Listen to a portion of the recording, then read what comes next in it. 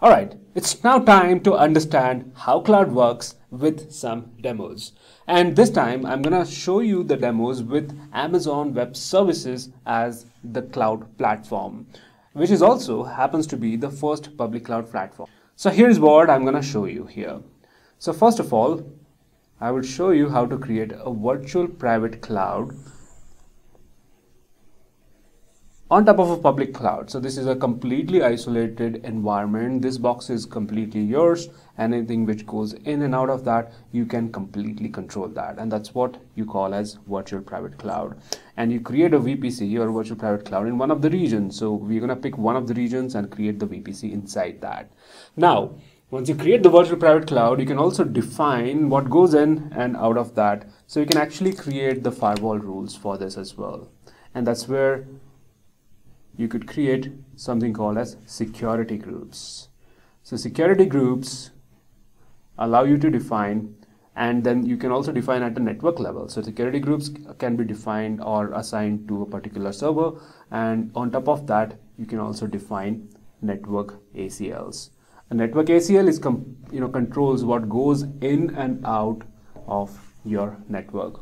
So I'm going to show you creating a VPC and inside that VPC or that VPC will span across that across multiple availability zones which are nothing but data centers.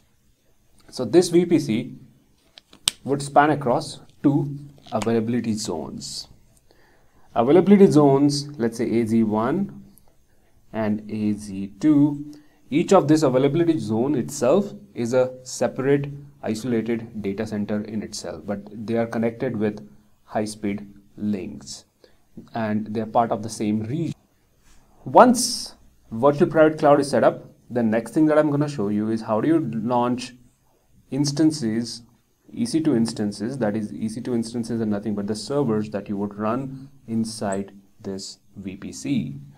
And um, um, later, we would also connect this server with a database and this server would be launching a WordPress application which would connect to a database. This database will then be launched using a managed service from AWS called as RDS. And this can be high available, can have a replica in another availability zone, and then you can later on launch servers here and connect them as well. And that's what we do next. So next thing I show you is how do you launch multiple servers, and only in that you maintain these multiple servers, uh, scale them automatically, the scaling availability, um, everything will be managed through something called as auto scaling groups. So that you can dynamically scale this capacity based on the load that you have as well as maintain the fleet so one of this goes down another server replaces this. And finally you could also set up a load balancer. Load balancer is typically publicly available and then that can balance across the servers that you have.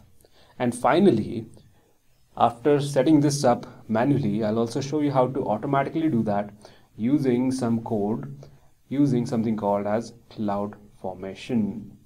And with cloud formation, this infrastructure can automatically be built uh, with a click of a button and maybe few parameters or inputs. And that's just fantastic. That's part of sort of a infrastructure as a code but it's related to cloud. So i'm going to show you the demos with all of this infrastructure being set up in the order that I just mentioned. So let's get started with the demo.